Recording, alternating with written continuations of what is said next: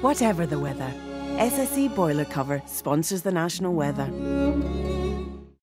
Hello to you again. A very good afternoon. Well, beautifully bright, clear and crisp for the bulk of Britain and Northern Ireland today. Some stunning low winter sunshine. Uh, just a little more in the way of cloud cover around these coastlines as a brisk biting northerly breeze feeds in scattered blustery downpours, a wintry mix of hail, sleet and snow, most likely across the highest ground of Scotland and parts of northeastern England. And those temperatures set to struggle all day after a patchy frost first thing this morning.